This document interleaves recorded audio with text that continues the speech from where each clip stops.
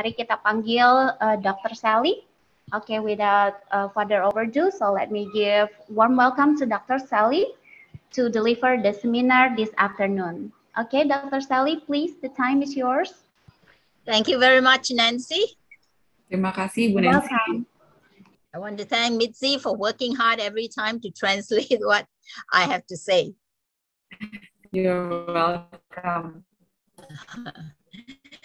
Now, you know, dealing with teenagers is a big challenge. Uh, we Anda all agree. tahu, menghadapi anak remaja adalah sebuah tantangan besar, dan saya rasa kita semua setuju. You know, we we usually have a good time with our young children, our small children.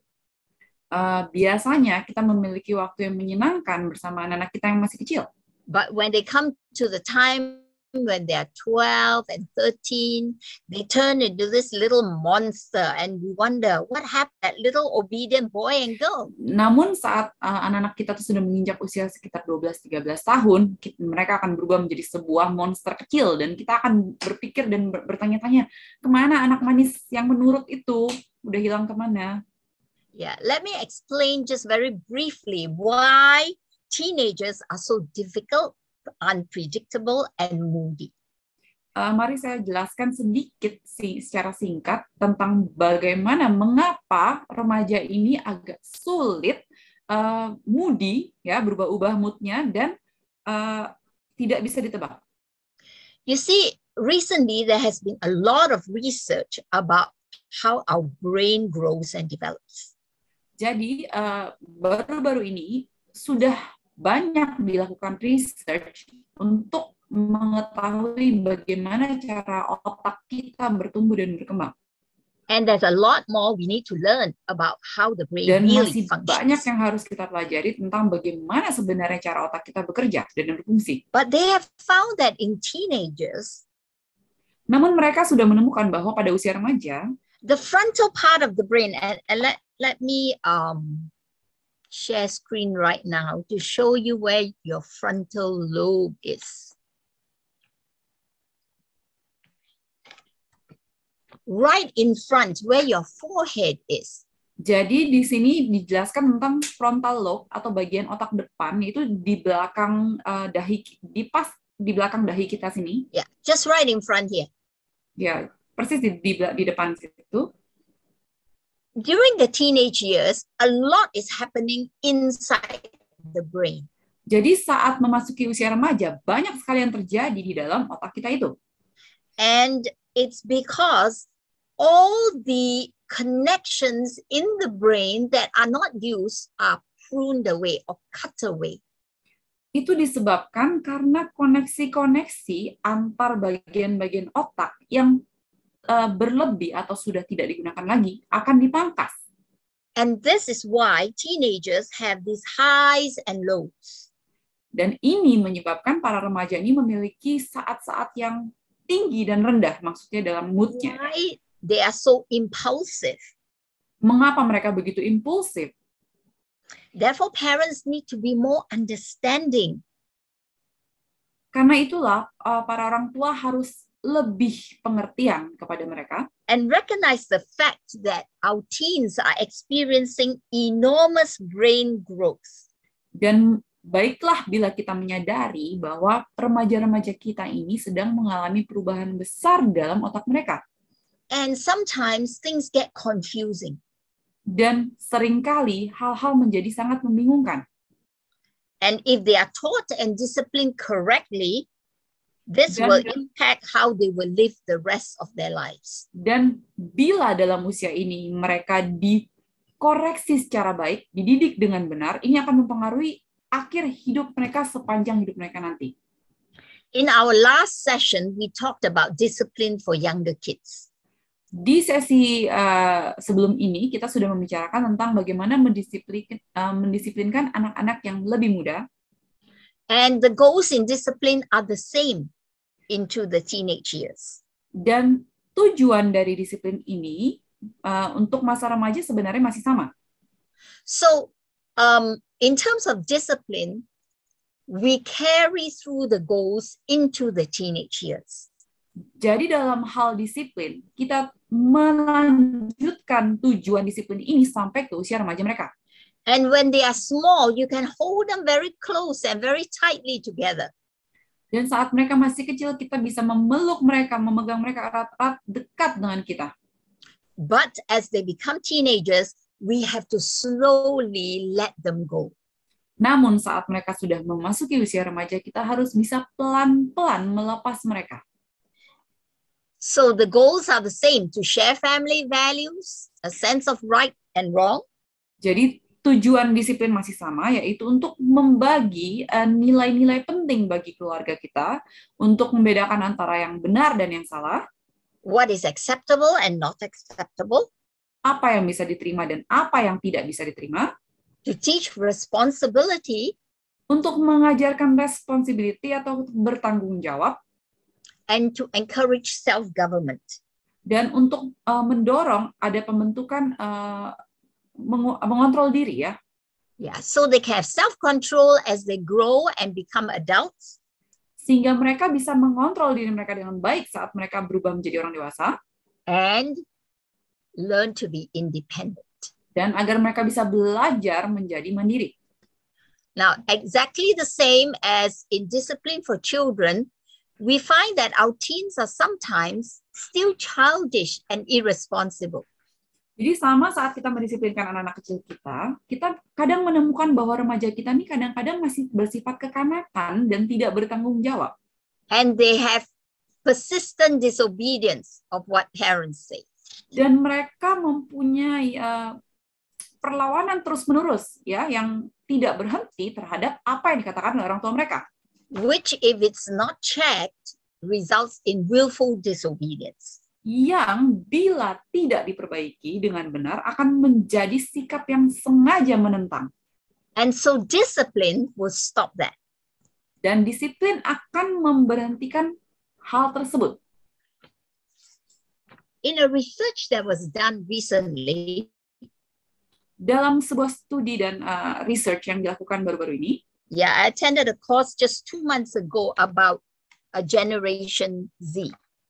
saya baru saja mengikuti sebuah uh, course uh, seperti kursus sekitar dua bulan lalu tentang generasi Z. And it's found that Generation Z is a generation under great pressure. Dan ditemukan bahwa generasi Z ini adalah sebenarnya generasi di dalam banyak sekali tekanan. These are our teenagers and young adults. Inilah adalah anak-anak remaja kita dan anak-anak muda kita. They aim for perfection. Mereka selalu uh, menginginkan kesempurnaan.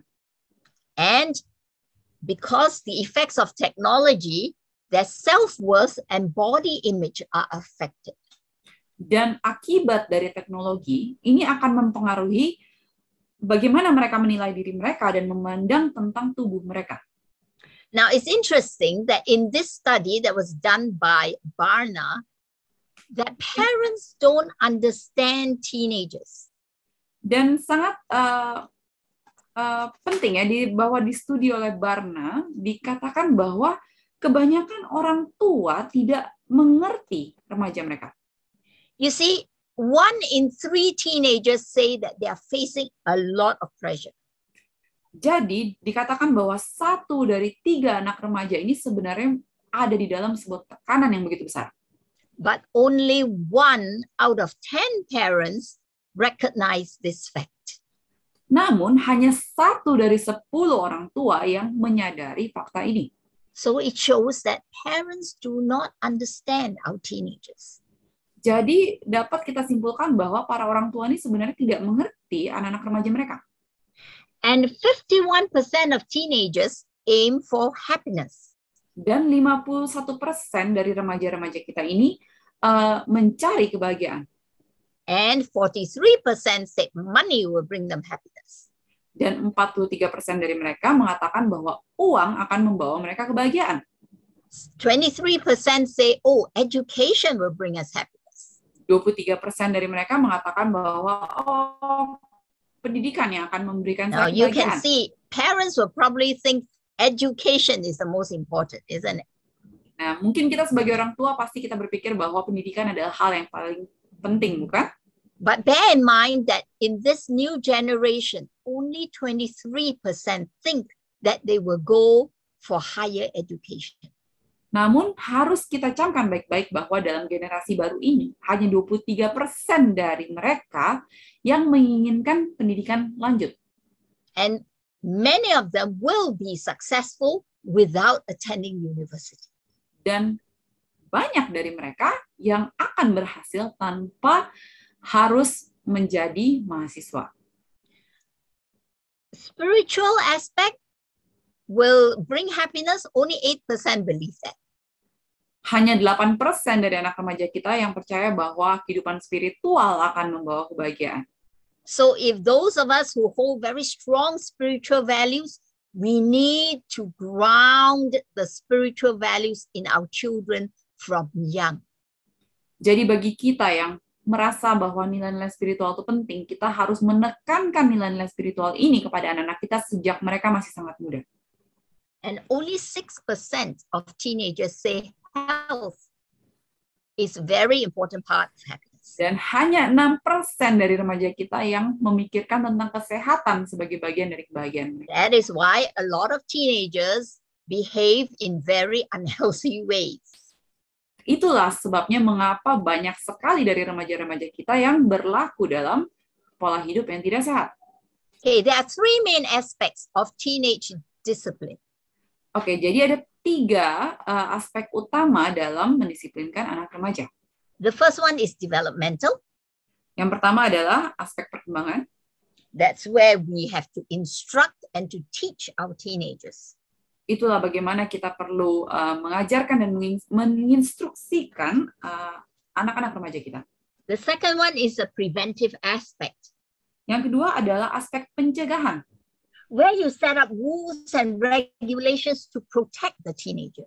di sinilah kita menetapkan aturan-aturan untuk melindungi anak-anak remaja kita. And the third one is the corrective aspect, Dan yang terakhir adalah aspek koreksi atau pembetulan, which kicks in when the teenager misbehaves and breaks the rules. yang harus diterapkan bila anak-anak remaja kita melanggar aturan yang sudah diterapkan. Then you they have to learn to live with the consequences of their choices. Lalu mereka harus belajar untuk hidup dengan akibat atau konsekuensi dari pilihan yang mereka buat. All right, let's look at each of these aspects in detail. Oke, mari kita lihat ma- masing-masing aspek ini secara detail. You see on the left hand side, I have a picture. Have you walked along this kind of path when you go to the park to exercise? Uh, Anda boleh lihat gambar di samping kiri di sini. Apakah Anda pernah melewati uh, uh, jalan seperti ini saat Anda lewati taman? Yeah, a rocky path. Jalan berbatu. It's uncomfortable, Itu tidak nyaman. but it is good for our health. Namun, uh, sebenarnya baik untuk kesehatan kita. because it massages the bottom of your feet where a lot of meridians are found. Karena jalan di jalanan berbatu ini sebenarnya akan uh, memijat bagian bawah kaki kita di mana banyak-banyak saraf yang ada di situ. And it makes you stronger if you walk on this rocky path. Dan bila Anda berjalan di jalanan berbatu ini sebenarnya akan membuat Anda lebih kuat. Similarly, with our teenagers, Sebenarnya sama dengan anak remaja kita.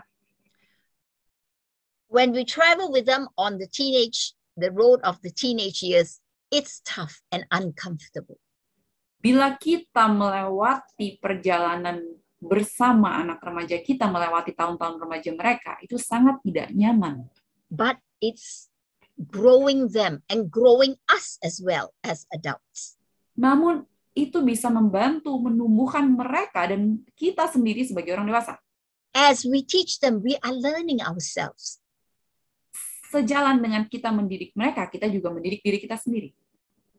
So, in the developmental aspect, we are teaching them values, our set of values. Jadi dalam aspek developmental atau perkembangan ini, kita adalah eh, tujuan kita adalah mengajarkan mereka nilai-nilai. They say values are caught, not taught. Ada yang bilang bahwa nilai-nilai kehidupan ini ditangkap ya, bukan diajarkan. What does that mean? Apakah artinya? You know, I think of, of uh, an example. Uh, once we started earning as adults, Eh, saya mungkin bisa memberikan contoh saat kita mulai eh, menghasilkan sebagai seorang dewasa, I always gave my parents money every month. saya selalu memberikan sebagian dari penghasilan saya untuk orang tua saya setiap bulan. I felt that it was a, a kind of appreciation for what they had done for me all my life. Saya merasa itu tindakan saya itu adalah sebagai suatu bentuk eh, penghargaan kepada orang tua saya atas apa yang sudah mereka lakukan selama hidup saya ini. And so when my daughter got her first job, Jadi begitu anak perempuan saya mendapatkan pekerjaan pertamanya, she asked me, she said, Mommy, do I have to give to grandma some money every month? eh, anak saya bertanya kepada saya, "Eh, Mama, apakah saya perlu memberikan uang kepada eh, nenek setiap bulan? And so I told her, I said, no, because I'm her daughter. So I support her. But you are my daughter. If you want to give me money every month, I really don't need it. Namun saya katakan tidak perlu karena saya adalah anak dari nenek. Saya yang mensupport nenekmu. Namun bila kamu ingin memberikan saya uang setiap bulan, saya tidak perlu. Uh, I, I, at this point, I'm, I'm earning my own money and I don't need your money. Dalam poin sekarang dalam hidup saya ini, saya masih menghasilkan uang dan saya tidak memerlukan uangmu. But my parents had retired. So I felt that I had a responsibility to support them. Namun orang tua saya sendiri sudah pensiun dan saya merasakan ada kewajiban untuk uh, membantu mereka. You see, this was something that I did not sit them down and teach them. They just caught it. Uh, jadi Anda lihat ini bukan sesuatu yang saya ajarkan kepada mereka secara spesifik, namun sesuatu yang mereka tangkap sendiri. as they watch what I did, role modeling. Jadi itulah yang mereka lihat uh, apa yang saya lakukan sehingga mereka mencontoh sebagai role model. See, this is the meaning of walking the talk. Jadi ini adalah arti dari walk the talk atau bisa kita katakan berbuatlah sesuai dengan perkataan kita. If you don't want them to smoke, then you don't smoke. Jadi bila Anda tidak ingin mereka untuk merokok, janganlah merokok. If you think that uh, it, it's it's important to do something, then do it. Bila Anda merasa sesuatu hal itu penting, maka lakukan. Yes. And at this time, it's important for parents to be models to their children. For example, in the use of the internet. Dan sangat penting di masa sekarang bagi orang tua untuk menjadi role model atau contoh teladan bagi anak-anak mereka, khususnya dalam penggunaan internet. If you don't want them to be screen addicts, then you don't be a screen addict yourself. Bila Anda tidak ingin uh, anak Anda kecanduan layar gadget, maka Anda jangan menjadi seorang pecandu juga. If you want them to be healthy, then you have to eat right and you have to sleep enough and so on. Bila Anda ingin hidup Anda ingin anak Anda hidup sehat, maka Anda harus mencontohkan dengan makan yang baik, makan yang sehat, istirahat yang cukup, dan seterusnya. Walk the talk. Lakukan apa yang Anda ucapkan. Okay, the next is teaching decision making. Now, this is very important during the teenage years. Dan berikutnya yang sangat penting bagi anak remaja kita adalah mengajarkan bagaimana mengambil keputusan. It helps teens to be goal oriented. Ini akan membantu anak-anak remaja untuk berfokus, berorientasi pada satu goal atau tujuan. and to be responsible for their own actions. Dan untuk bertanggung jawab terhadap perbuatan mereka sendiri. And teens should be responsible for, you know, a bigger and bigger role in deciding about their present. Dan anak remaja ini mulai harus bisa um, memutuskan hal-hal yang lebih besar dalam hidup mereka seiring mereka bertumbuh. Okay. Allow a bigger role in deciding their present and future. Uh, berikan peran yang lebih besar bagi mereka dalam mem- memutuskan sesuatu yang berhubungan dengan masa sekarang dan masa depan mereka. Assign responsibilities to them. Berikan tanggung jawab kepada mereka. And these responsibilities should be appropriate to their age level. Dan tugas atau tanggung jawab ini harus sesuai dengan usia mereka and increase this over time. dan Anda bisa menambahkan bebannya seiring dengan waktu. As the teen matures and he is more and more capable of handling responsibilities. Seiring dengan berjalannya waktu, maka rema- remaja-remaja kita akan bisa menghandle tugas atau tanggung jawab yang lebih besar.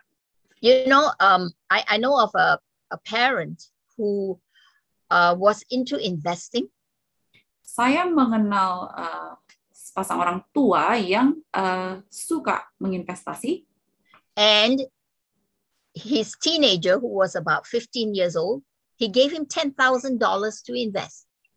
dan anak remajanya yang berusia 15 tahun diberikan 10.000 dolar untuk diinvestasikan. You think that is age appropriate? Apakah menurut Anda itu sesuai dengan umurnya? It put a lot of pressure on the poor teenager. Ini akan memberikan begitu banyak tekanan bagi anak remaja ini. He didn't want to lose the $10,000. Tentu saja dia tidak ingin kehilangan 10.000 dolar ini, But I, I, I feel that, that that was a little beyond what this teenager was able to do. Uh, saya pribadi merasa hal ini agak sedikit berlebihan ya untuk kemampuan seorang anak remaja berusia 15 tahun. And it added unnecessary pressure to his life. Dan hal ini malah menambahkan tekanan-tekanan yang sebenarnya tidak diperlukan dalam hidupnya.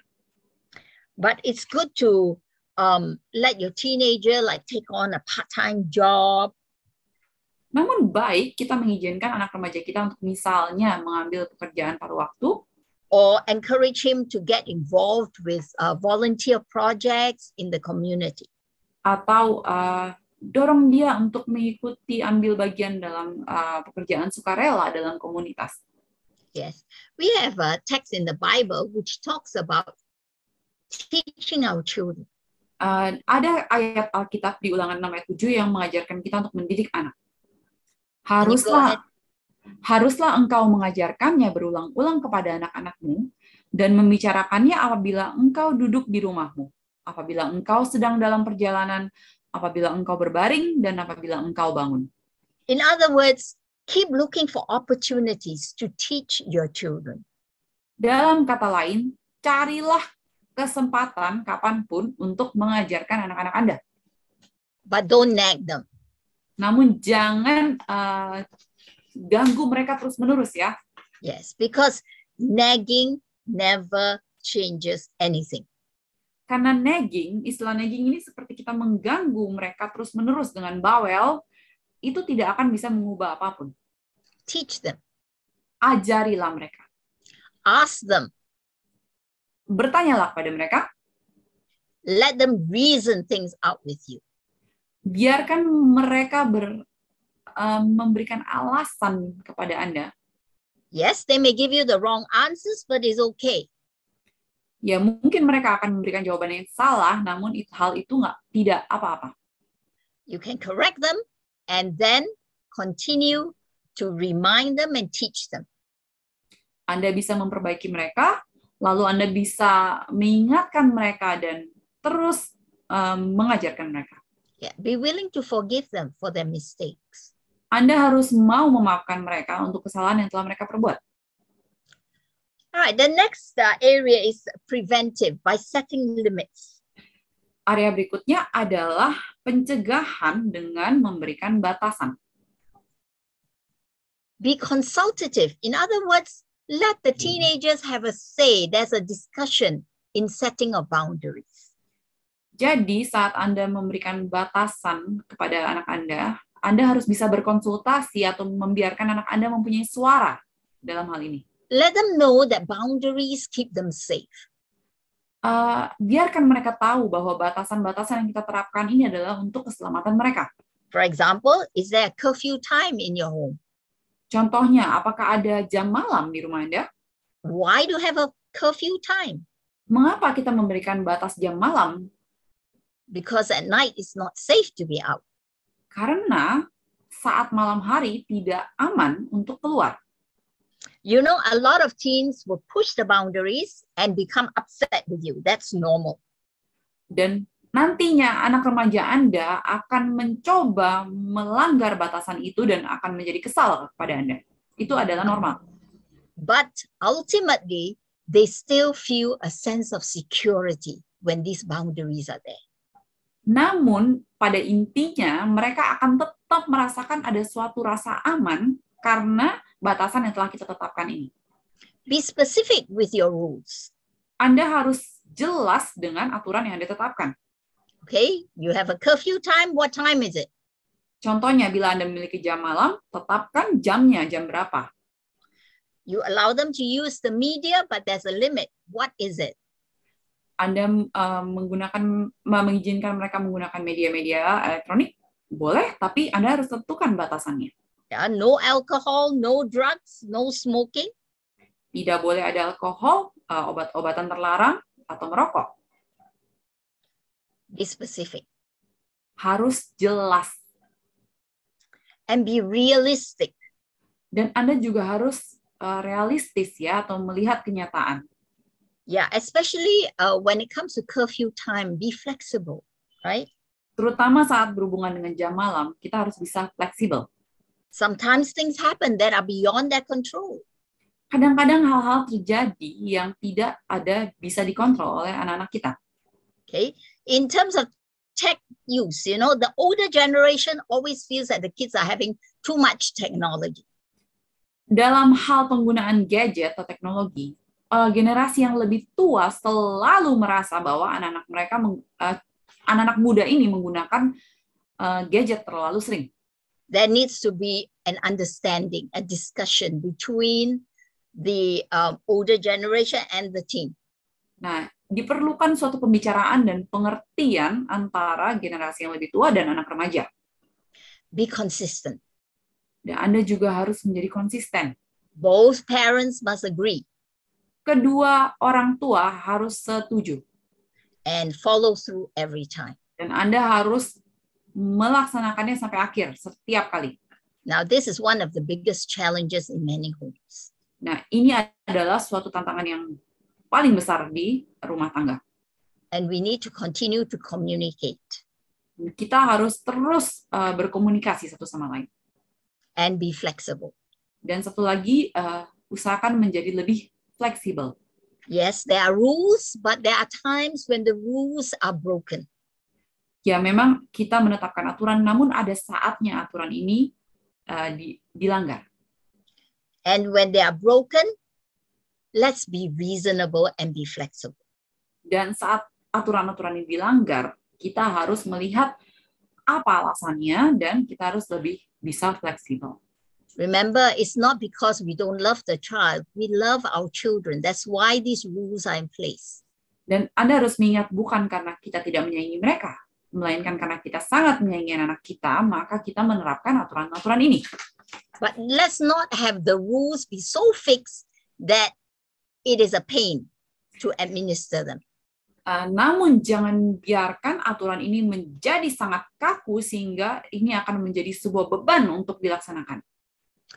And then the last uh, aspect is the corrective as- aspect. Lalu aspek terakhir adalah aspek perbaikan atau pembetulan. Hey, we need to be fair. When something is wrong and we need to punish them, we have to be fair. Uh, kita harus menjadi adil. ya. Bila ada sesuatu kesalahan yang dilakukan dan kita harus menghukum, kita harus adil. We need to be firm. Kita harus uh, keras, keras dalam hal sini tegas. In other words, the parents get the last word, not the teens. Dalam kata lain, harus kita yang mempunyai suara terakhir, bukan anak remaja kita. Be reasonable. Kita harus bisa uh, mengerti alasan. And the last one, which is the hardest one, is to maintain your cool, self control. Dan terakhir adalah mengontrol diri. Kita harus bisa tetap tenang. What are some uh, punishment that are, you know, appropriate for teens? Uh, kita harus memperhatikan bentuk-bentuk hukuman yang sesuai untuk anak remaja. For example, limit Wi-Fi access. Contohnya, uh, batasi penggunaan WiFi di rumah. Deprive them of their devices or screen time. dan ambil waktu mereka dengan alat peralatan mereka dan gadget-gadget mereka. Take away the phone, Ambil handphone mereka, the tablet. tablet mereka, Okay. Uh, grounding, in other words, they are not allowed to go out. Ada hukuman lain dalam bahasa Inggris dibilang grounding adalah anak-anak tidak boleh keluar rumah. Uh, use of the car for those that drive. Penggunaan mobil bagi yang sudah bisa nyetir, Okay. Extra chores to do around the house tugas-tugas ekstra di rumah. and reduce their pocket money. Dan bisa juga Anda mengurangi uang jajan mereka. But remember, no spanking for teenagers. Namun ingat, jangan memukul anak remaja Anda. Yes. Now, there will always be conflicts with our teens. Uh, Anda harus mengingat bahwa akan selalu ada konflik dengan anak remaja kita. Now, some negative approaches are like that. You know, the parents win and the teens lose all the time. Dan ada sebuah bentuk neg- eh, pendekatan negatif, yaitu orang tua akan menang dan anak remajanya mereka kalah. Now, this is no fun. That's no fair. Dan ini sebenarnya tidak adil bila selalu seperti ini. Or in some cases, the teenagers win and the parents lose all the time. Atau dalam peristiwa lain, ada yang anaknya selalu menang, orang tua selalu kalah. Yeah, this is this is a case where the parents are, are, are ignorant about how to handle the situation and they just give in. Ini adalah situasi di mana orang tua sudah tidak tahu lagi bagaimana menghadapi anak mereka dan mereka menyerah. And lastly is withdrawing. In other words, we don't talk about it. Yang terakhir adalah mundur. Atau dalam kata lain, kita tidak membicarakan masalah ini lagi. And Tidak ada when we do this, no one wins. Bila kita melakukan hal ini, tidak ada yang menang. So it is important to remember that parents are actually role modeling how to resolve conflicts when they deal with their teens. Kita harus mengingat bahwa orang tua itu sebenarnya mencontohkan bagaimana cara menghadapi konflik saat kita menghadapi konflik kepada anak-anak kita. Yeah, in real life, when you meet with something that goes wrong, how are you going to handle it? Dalam kehidupan eh, sebenarnya, bila Anda menghadapi eh, masalah, bagaimana Anda menghadapi masalah ini? So parents who are effective in conflict resolution pass on to their teenagers a very valuable skill that they can use at dealing with conflicts in their lives when they become adults. Jadi, orang dewasa, orang tua yang bisa menghadapi konflik dengan baik akan memberikan ilmu yang tak ber- tak bisa dinilai ya untuk anak-anak remaja mereka saat mereka rem- dewasa nanti dan menghadapi kehidupan sebenarnya. An expert in Singapore by the name of Esther Tan says that when you are angry or upset, deal with your own feelings first. Sebuah expert bernama Esther Tan dari Singapura mengatakan bahwa bila kita sedang marah atau kesal, Anda harus menghadapi perasaan Anda sendiri dulu. Before handling the anger and resentment of your teen. sebelum Anda menghadapi kemarahan atau kekesalan dari anak remaja Anda. Stand back from the conflict situation to keep things in perspective. Mundurlah dari situasi konflik ini untuk bisa melihat sesuatunya dalam uh, perspektif yang baik. Only then you are ready to handle conflicts in a constructive manner. Hanya dengan begini barulah Anda bisa menghadapi konflik dengan uh, cara yang membangun. So, uh, self control is very important in handling conflicts. Jadi pengendalian diri adalah hal yang utama dalam menghadapi konflik. Okay, let's continue dealing with conflicts. What are the positive approaches then? Oke, bagaimana uh, pendekatan positif saat menghadapi konflik? When you agree to tackle the problem, Yaitu saat Anda setuju untuk mengatasi masalahnya. you see a problem that came up, okay, we need to take care of this. Jadi bila Anda melihat ada suatu masalah yang muncul, Anda setuju bahwa oke kita harus menghadapi masalah ini. Yeah, stay cool, stay calm, Tetap tenang, tetap cool, and set down the ground rules. dan tentukan aturan utama. Ah, what is this? When we sit down to talk, no yelling at each other. Contohnya, ada aturan bahwa bila saat kita duduk untuk berbicara, tidak boleh ada teriakan. Take turns to talk. Kita harus berbicara secara bergantian. When you talk, I don't talk. Saat Anda ber- kamu berbicara, saya tidak berbicara. When I talk, you don't talk. Saat saya yang berbicara, kamu diam. And respect each other. Lalu saling menghargai dan menghormati satu sama lain. Good rules? I think they are very good rules. Apakah menurut Anda ini aturan yang baik? Menurut saya ya. Share feelings freely. Saling berbagi tentang perasaan secara bebas. Now, I don't know how you feel, but this is how I feel. And I'm going to tell you how I feel. Contohnya, Anda bisa berkata, saya tidak tahu apa yang kamu rasakan, namun ini yang saya rasakan dan saya akan memberitahukannya kepadamu. Yeah, be willing to negotiate Dan Anda juga harus bersedia untuk bernegosiasi. and agree on one or more options. Dan Anda juga bisa setuju pada satu atau lebih dari uh, opsi atau pilihan. And then work out a plan of action. Dan lalu rencanakan sebuah uh, tindakan yang akan dilakukan. Notice that the approach is very objective. Anda lihat bahwa pendekatan seperti ini Now, sangat it's objektif, easy to say, namun memang sangat mudah untuk diucapkan. but when it comes to doing, it's not so easy. Namun bila harus dilaksanakan, tentu saja tidak mudah. Okay? What if you start shouting at one another? Lalu bagaimana bila kita sudah mulai berteriak satu sama lain? Then you, as an adult, has to stop. Dan peran Anda sebagai orang dewasa adalah harus menghentikan uh, ini and remind each other of the rules. Dan saling mengingatkan satu sama lain tentang aturan yang sudah ditetapkan. And if everyone is all heated up, it's best to say, okay, we will not talk about it now, but we will discuss this again maybe tomorrow. Namun bila semua pihak sedang panas, mungkin ada baiknya Anda berkata, oke, kita tunda dulu bicarakan masalah ini sekarang, kita mungkin bisa bicarakan besok. Work out a plan of action. Anda harus merencanakan sebuah tindakan untuk dilakukan, and carry it out. dan Anda harus melaksanakannya. Now, let's look at some tips at working with teenagers. Oke, mari kita lihat beberapa tips untuk uh, bekerja dengan anak remaja. Expect a lot of pain. Yang pertama, Anda harus bersiap-siap menghadapi kesakitan. Yes. But share God's grace with them. Namun berbagilah kasih karunia Allah kepada mereka. Base your discussion and the way you handle your teenagers with a lot of grace.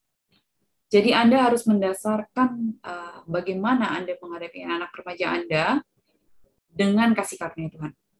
And learn to forgive and forget. Dan belajarlah untuk melupakan dan memaafkan. Have a sense of humor. Anda harus bisa uh, bercanda atau mempunyai humor dengan anak Anda. Laugh with them. Anda harus banyak tertawa bersama anak Anda.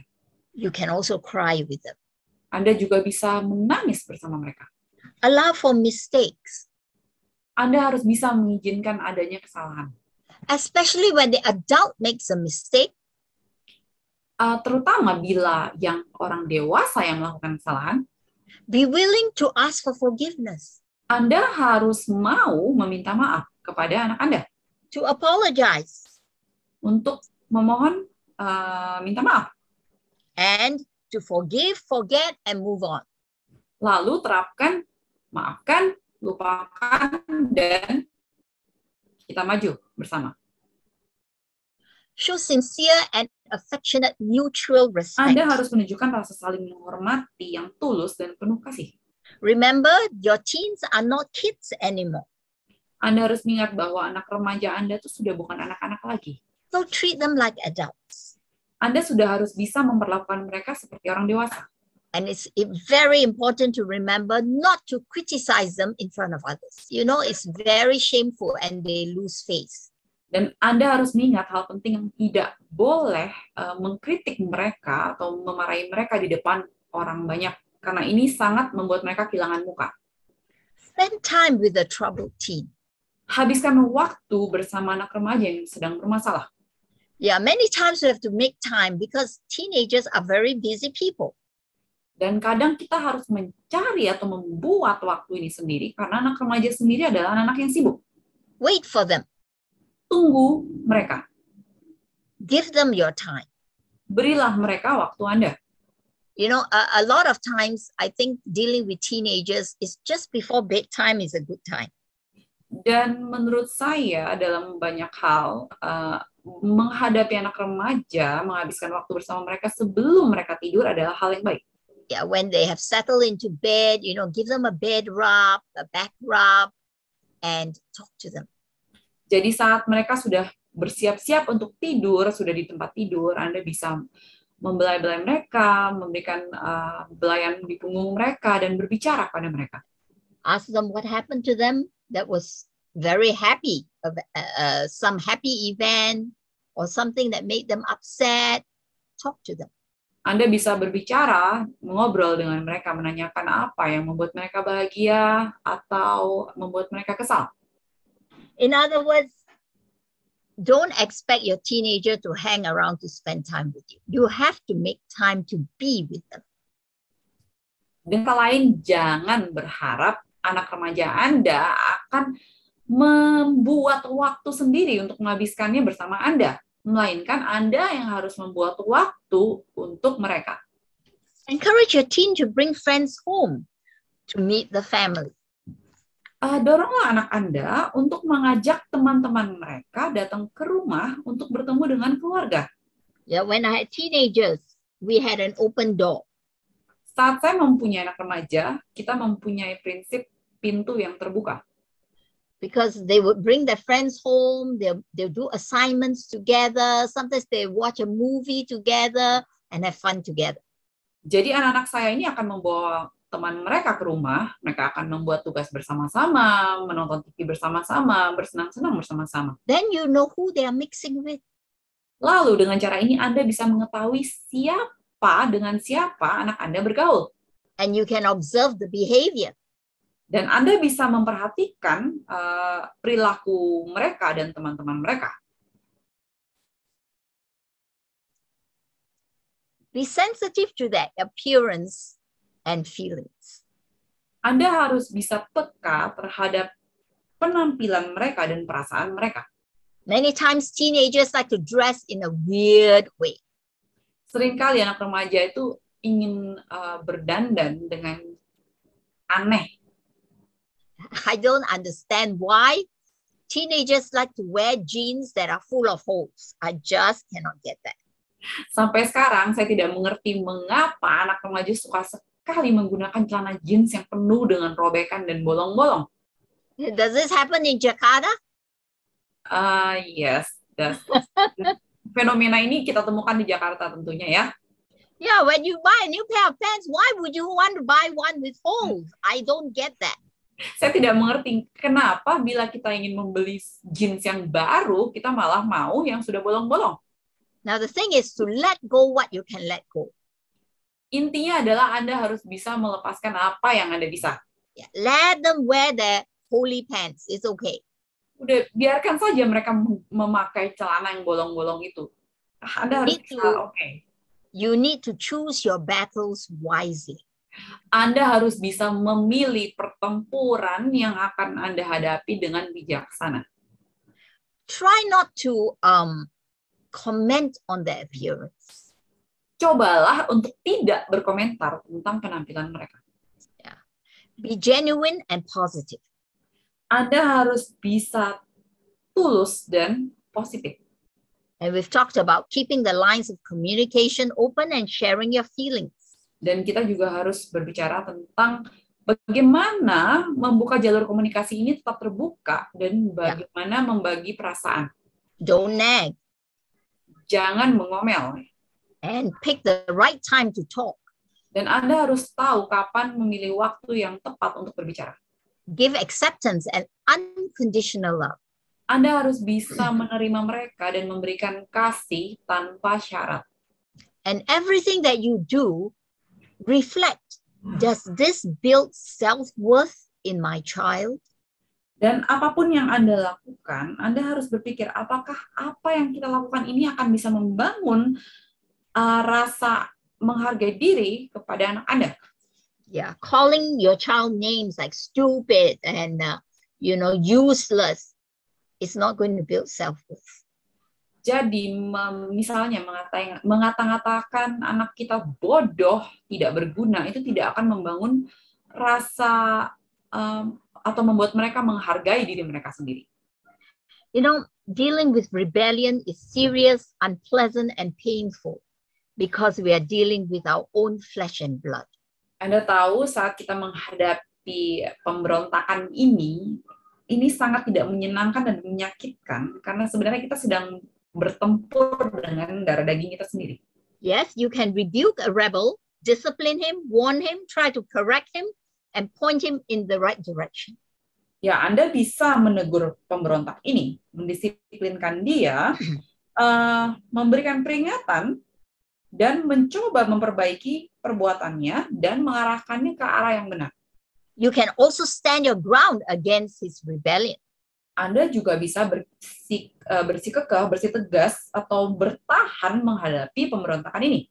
But remember, you cannot force him to change. Namun ingat, Anda tidak bisa memaksa anak kita untuk berubah.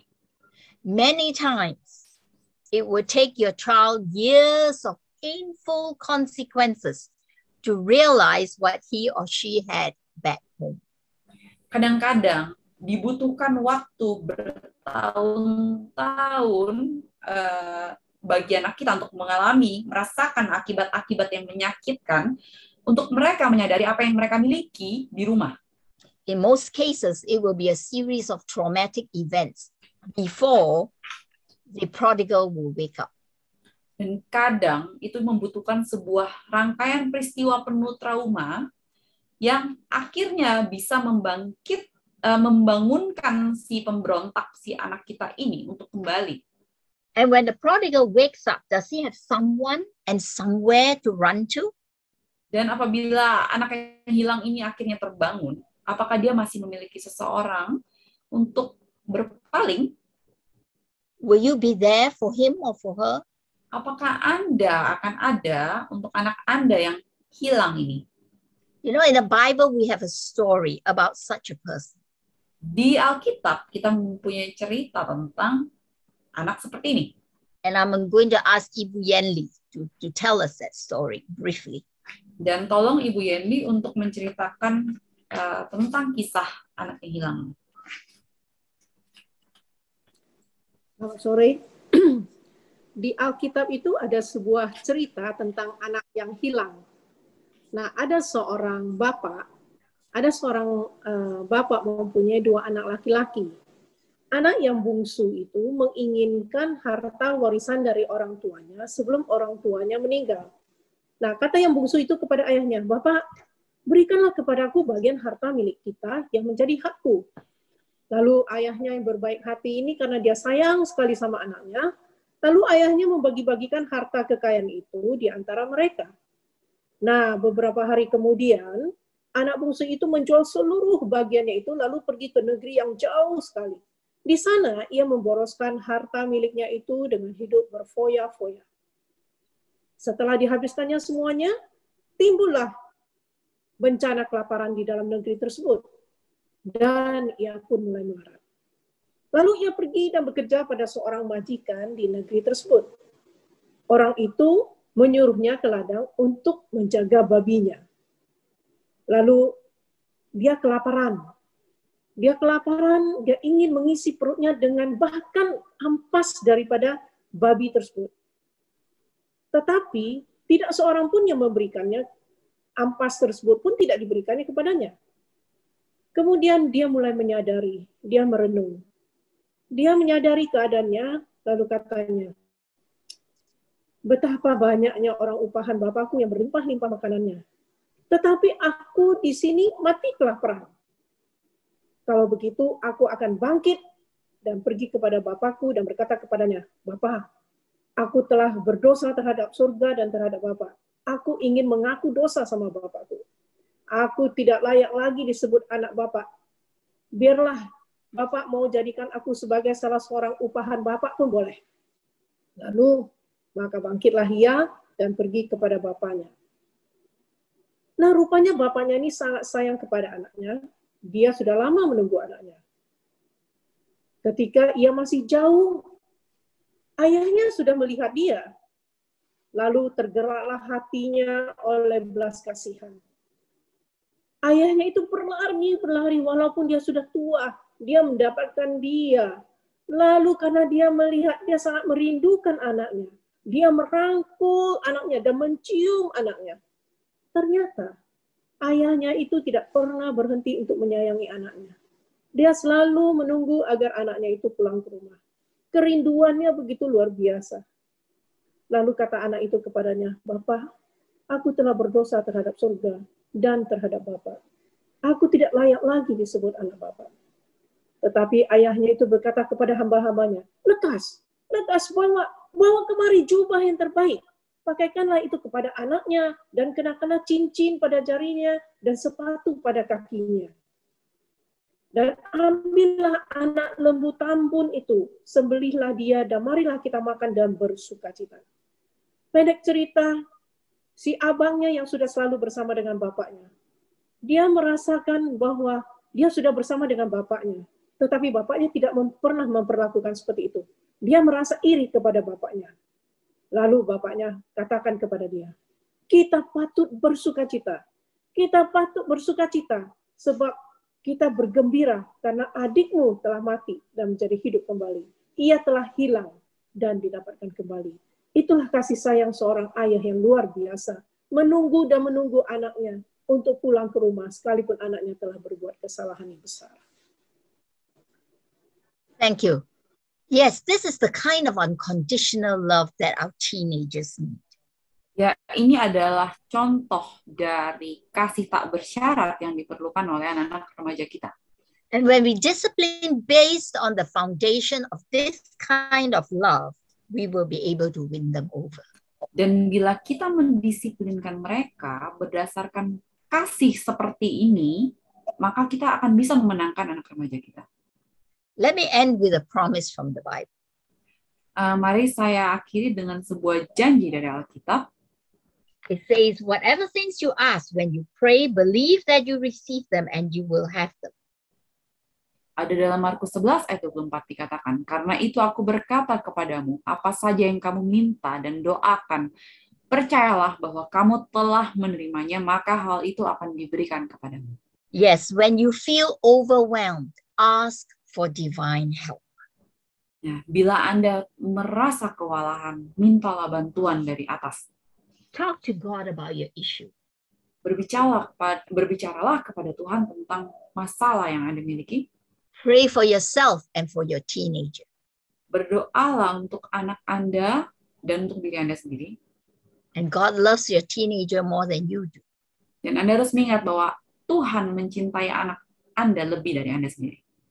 Remember that at the end of the rocky road, Anda harus mengingat di akhir dari jalan berbatu ini, if you persevere and learn along the way, bila Anda mampu bertahan dan belajar seiring waktu, the destination can be a beautiful one. maka akhir atau tujuannya ada, adalah sesuatu yang indah. And I hope that you will arrive at this destination with your teenagers one day. Dan saya sangat mengharapkan Anda bisa uh, bersama-sama tiba di tujuan ini bersama anak remaja Anda.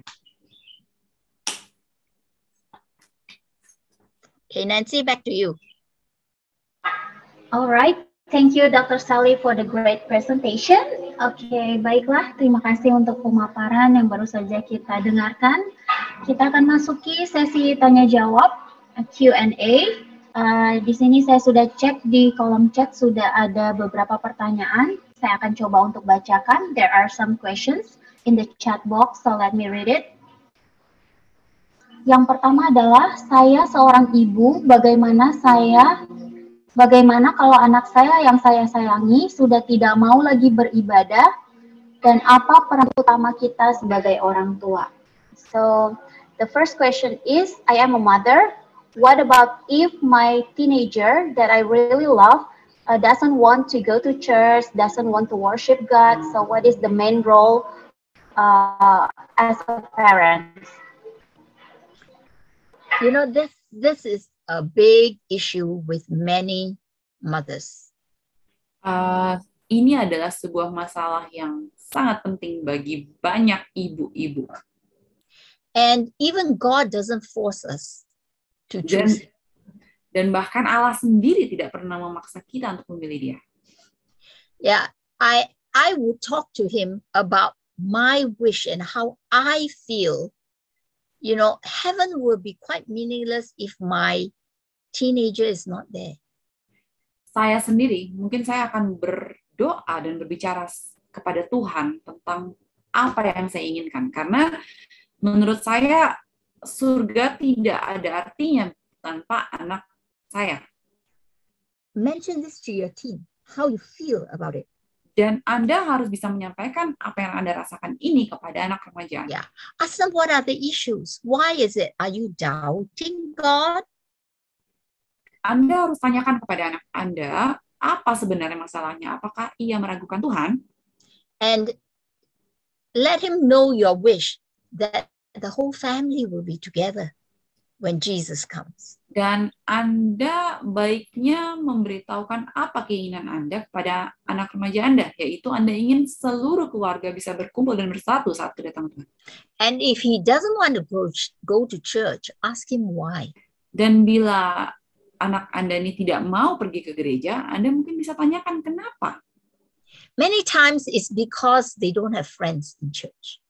Seringkali problemnya adalah karena anak ini tidak mempunyai teman di gereja. Yeah. Um, another thing you could do is to discuss this with the pastor. Hal lain yang bisa Anda lakukan adalah mencoba membicarakan dengan pendeta. But remember, forcing a teenager to go to church is driving him away. Namun perlu Anda ingat bila Anda memaksa seorang anak remaja untuk pergi ke gereja karena paksaan, ini malah akan membuat anak ini semakin menjauh. Because the spiritual decisions are our own. Karena keputusan spiritual itu adalah milik kita sendiri. A- As a teenager can decide whether he wants to follow God or he doesn't want to follow God. That's his his decision. Dan seorang anak remaja harus bisa memutuskan sendiri apakah ia ingin mengikuti Tuhan apa tidak. Karena ini adalah keputusannya sendiri. Yeah. I, I know of many parents who struggle with this issue.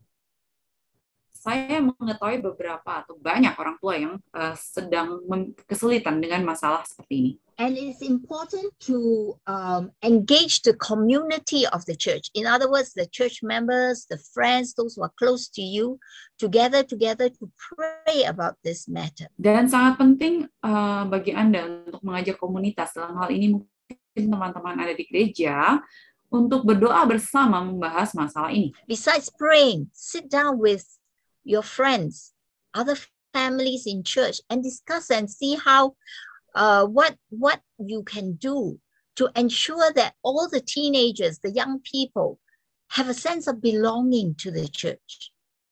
Uh, dan selain berdoa bersama, Anda bisa duduk bersama uh, teman-teman untuk perkumpulan di gereja ini untuk saling mendiskusikan bagaimana cara yang bisa diambil untuk membuat anak-anak muda dan remaja ini merasa senang di gereja.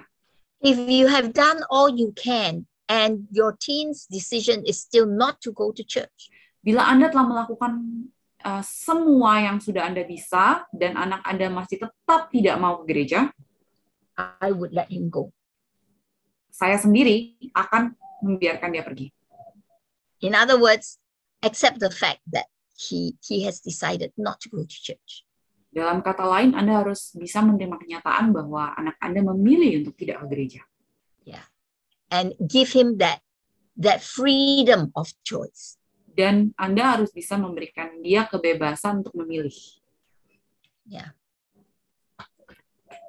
It's very painful, Tentu ini sangat menyakitkan,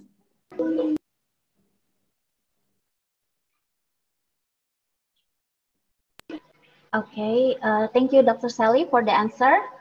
Uh, tadi sudah dijawab ya pertanyaan pertama kita oleh Dr. Sally. Mudah-mudahan uh, jawabannya dapat diterima dan dapat dimengerti juga. Kita akan melanjutkan ke pertanyaan yang kedua, bagaimana caranya kita mengendalikan diri pada saat kita marah tapi tidak lari dari masalah. How do we control ourselves when we get angry without uh, running away from the issue? How do you control yourself? Uh, take a deep breath. Anda bisa tarik nafas dalam-dalam. Yeah. If you feel that you can't control yourself, it's better to leave the situation. Bila Anda merasa bahwa Anda tidak akan bisa mengontrol diri, mungkin paling baik adalah Anda pergi dari uh, situasi itu. But let your teen know that you are going to come back another time to discuss with him when you have better self-control.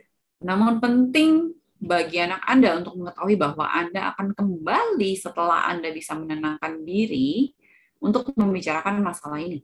You can tell your teen, I'm, I'm feeling very angry. Anda bisa mengatakan kepada anak remaja Anda, saya sekarang sedang benar-benar In fact, I do that to my 10-year-old grandson.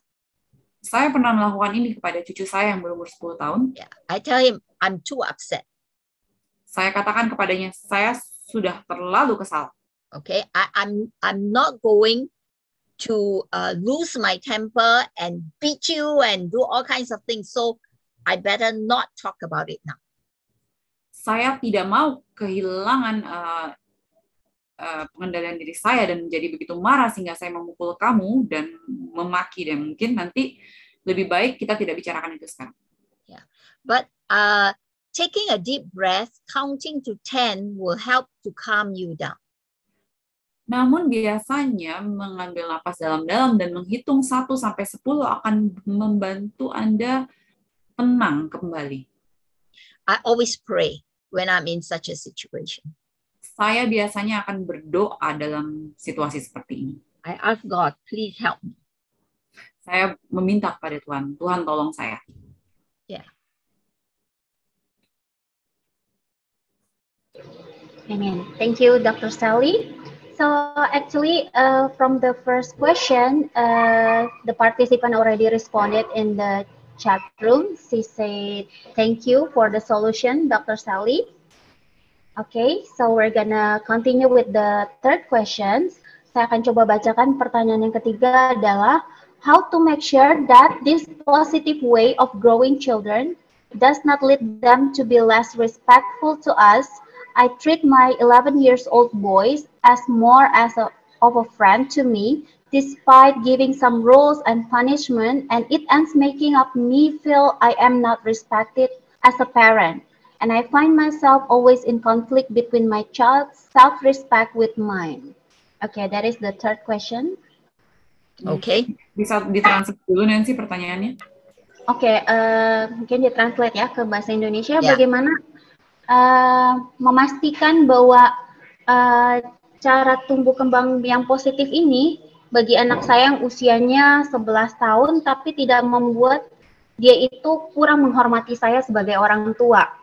Dan saya memperlakukan anak laki-laki saya yang usianya 11 tahun sebagai seorang teman, meskipun saya juga memberikan aturan juga, ada hukuman juga, tapi pada akhirnya merasa membuat saya tidak dihormati sebagai orang tua dan akhirnya itu menyebabkan konflik antara saya dengan anak saya. Okay, being positive doesn't mean that they can treat you with disrespect. Uh, menjadi positif bukan artinya anak Anda bisa menjadi tidak respect ya, tidak menghormati Anda. And with Alpha kids and Gen Z kids, I noticed that this is one of the issues. Dan dengan generasi Alpha dan generasi Z, saya menyadari bahwa ini adalah salah satu dari masalah utamanya. So we must be very clear what is the meaning of disrespect.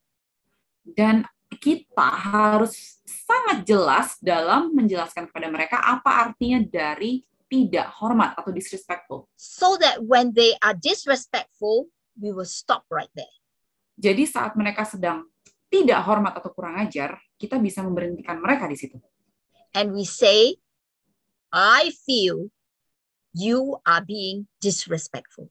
Dan Anda bisa mengatakan, saya merasa bahwa kamu sekarang tidak respect atau kurang ajar sekarang ini. And and with that, you have to stop his behavior. Dan dengan itu Anda harus bisa memberhentikan perilaku anak Anda itu. Okay, don't talk to me like that, or else I will not talk to you. Uh, Anda bisa mengatakan, jangan berbicara seperti itu pada mama, atau mama tidak akan berbicara pada kamu.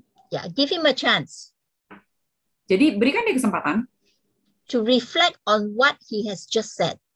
untuk uh, merefleksikan apa yang baru saja ia katakan. And then pause Lalu Anda bisa memberikan waktu sejenak and say, okay, if you learn to talk in a respectful manner, we can carry on this conversation. dan Anda bisa mengatakan, oke kalau kamu sudah bisa belajar berbicara yang baik dan sopan, maka kita bisa lanjutkan pembicaraan ini. But if you are going to continue being disrespectful, Namun kalau kamu terus uh, tidak hormat pada mama atau bersikap kurang ajar, we'll have to stop talking. kita harus berhenti bicara. And if you insist on being disrespectful, Dan kalau kamu terus mau bersikap seperti it ini, is disobedience. itu namanya tidak menurut. It is willful Itu artinya defiance. uh, perlawanan yang disengaja. and you deserve a spanking. Nah, karena dari itu, kamu perlu dipukul. Okay. So make it very clear. That's the boundary. You don't cross it. Once you cross it, you will be spanked. Jadi Anda harus membuat batasan ini dengan jelas. Uh, biarkan anak Anda tahu batasannya dengan jelas. Jadi bila dia sudah melewati batasan itu, maka dia tahu dia harus So dipukul. he needs to understand that. Anak Anda harus mengerti dengan jelas masalah ini. 11 years old, you can still spank. Uh, anak umur 11 tahun bisa diajarkan. Yeah, Oh, 12 okay. years old, you can still spank, but that's the last year. Umur 11-12 itu masih bisa dipukul, namun itu tahun terakhir.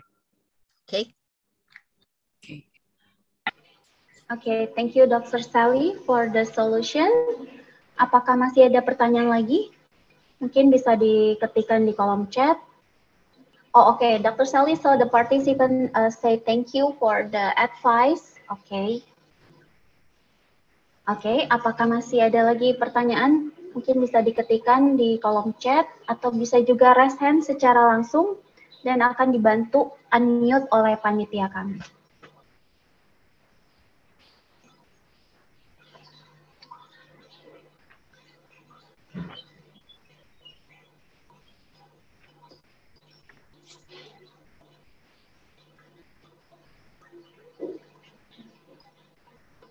Oke, kita masih menunggu jika dari partisipan yang masih ingin bertanya seputar bagaimana sih mengatasi masalah yang dihadapi oleh anak remaja. Kami masih memberikan kesempatan untuk sesi tanya jawab ini dapat diketikkan di kolom chat yang tersedia atau juga bisa raise hand secara langsung. Hmm, boleh saya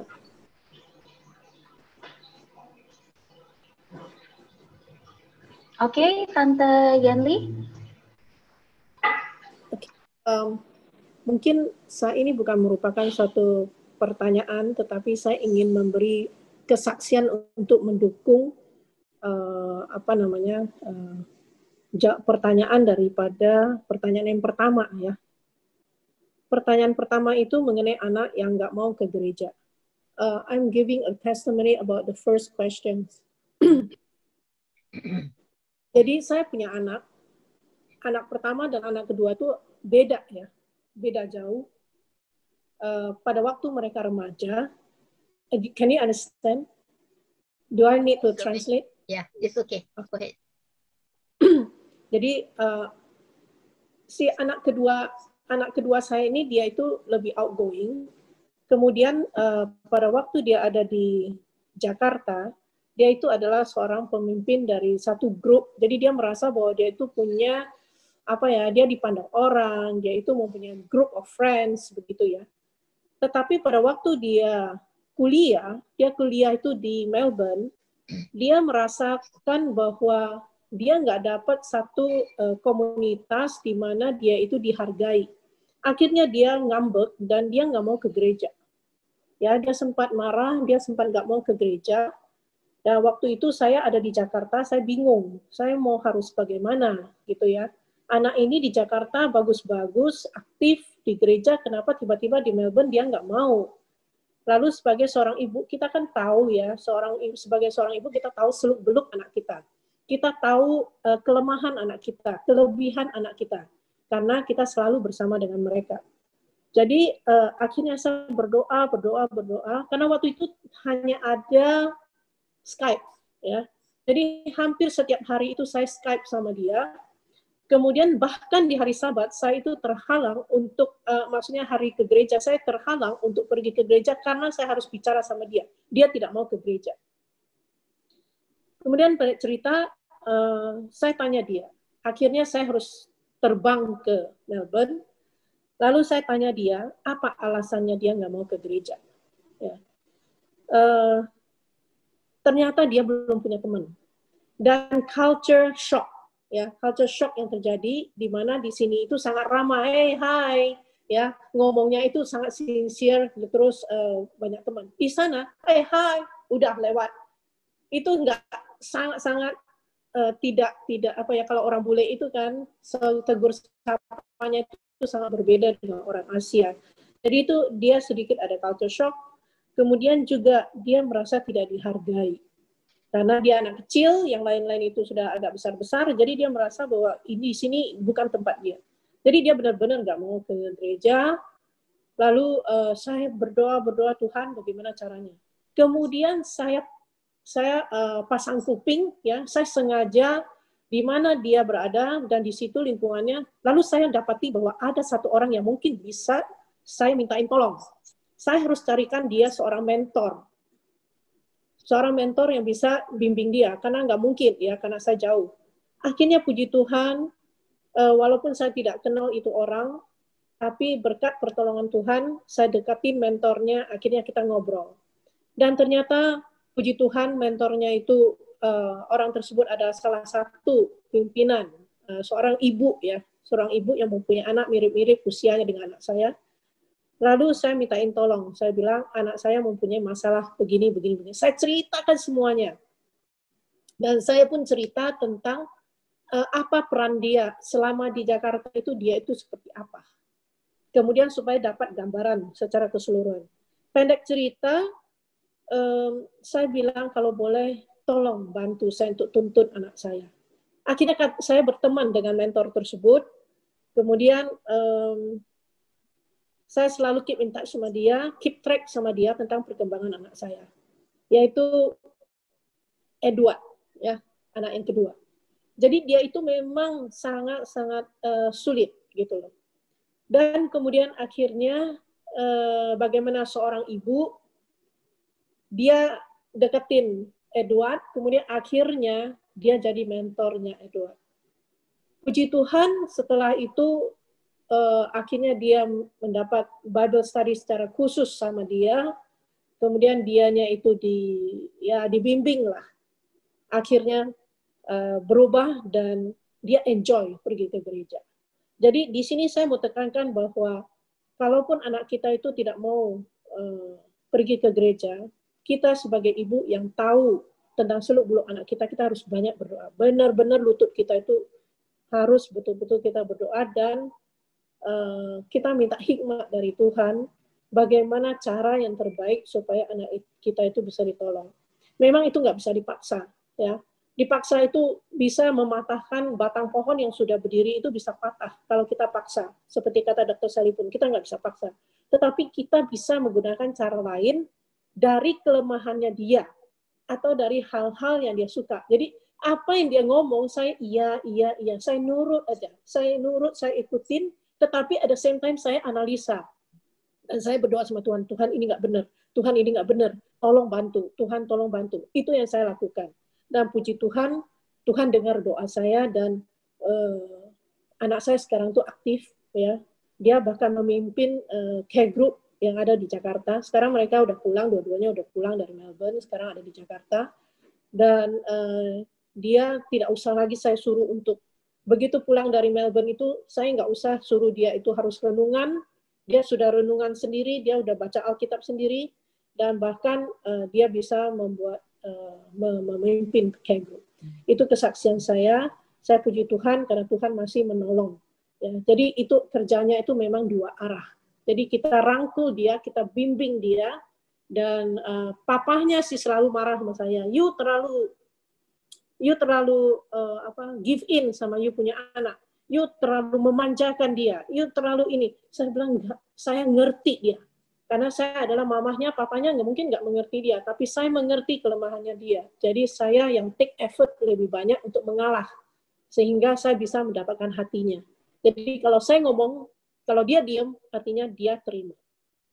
Gitu. Nah puji Tuhan sekarang saya dapat melihat hasilnya. Itu adalah terjadi 10 mungkin 15 tahun yang lalu ya.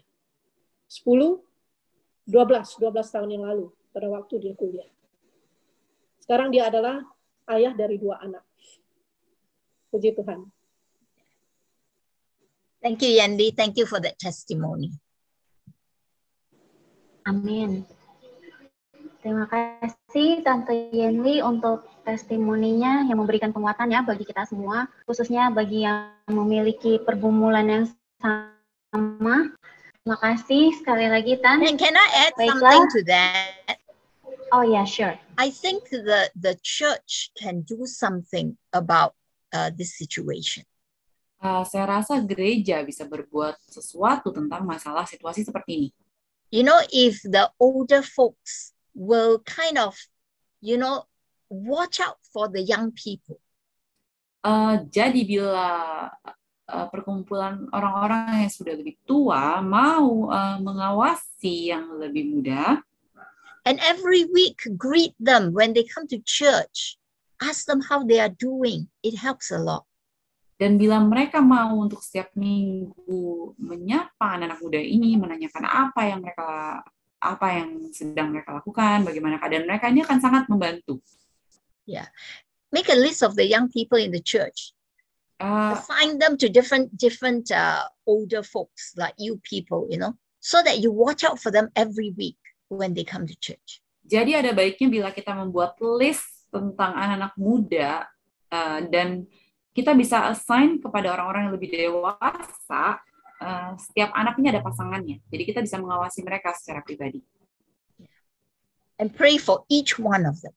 Dan berdoa secara pribadi untuk masing-masing mereka we need to really build a hedge around our young people. Kita harus bisa membangun seperti pagar ya untuk sekitar orang-orang muda kita. Baiklah, kita akan segera mengakhiri seminar kita pada sore hari ini dengan doa tutup. Saya mengajak kita semua sama-sama berdoa and let me invite Dr. Sally to lead us in closing prayer. Shall we pray? Mari kita berdoa. Our most gracious Father in heaven. Allah di surga yang penuh kasih. We thank you for your unconditional love for us. Kami bersyukur untuk kasih Tuhan yang tak bersyarat kepada kami. Many times we don't understand this love.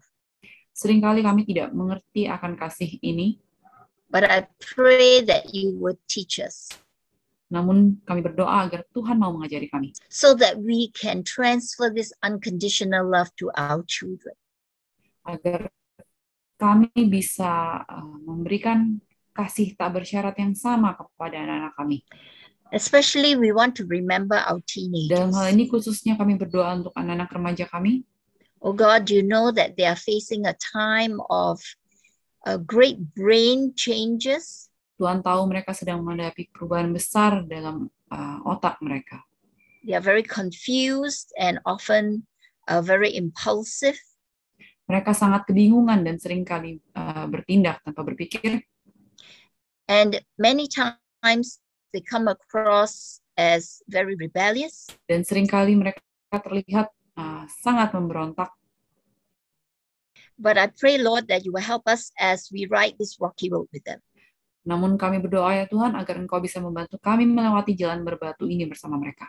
that your grace will see us through. Agar uh, kasih karunia bisa um, menerangi kami semua. That where we are weak, you are strong. Di saat kami lemah, Engkau akan menjadi kuat untuk kami. And we pray that you will protect each one of our teenagers. Dan kami berdoa agar Engkau melindungi masing-masing satu demi satu dari anak remaja yang kami miliki. so that they can become independent adults who have perfect self control. di mana mereka nantinya akan bisa bertumbuh menjadi orang dewasa yang mandiri dan bisa mengendalikan diri. And that through our role modeling, that they will also want to follow you all the way. Dan kami berharap agar mereka bisa meneladani kami untuk bisa mendekatkan diri kepadamu. Lord, we ask for your wisdom. Ya Tuhan, kami memohon kebijaksanaan dari Engkau. We ask for your grace Kami mohon kasih karuniamu as we walk with our teenagers on this rocky road. saat kami uh, melewati jalan berbatu ini bersama anak-anak remaja kami. Yes, Lord, we have failed so many times. Ya Tuhan, kami tahu kami telah gagal sering kali. Forgive us. Ampunilah dosa-dosa kami. And I pray that you will show us and teach us Dan kami berdoa agar Engkau bisa uh, mengajari dan menunjukkan kami the right words to say kata-kata yang tepat untuk diucapkan and the right way to deal with our children. dan cara yang baik yang harusnya kami lakukan untuk menghadapi mereka. So we leave ourselves in your hands. Maka dari itu Tuhan kami serahkan diri kami ke tangan Tuhan. We pray in Jesus' name. Kami berdoa dalam nama Tuhan Yesus Kristus. Amen. Amin.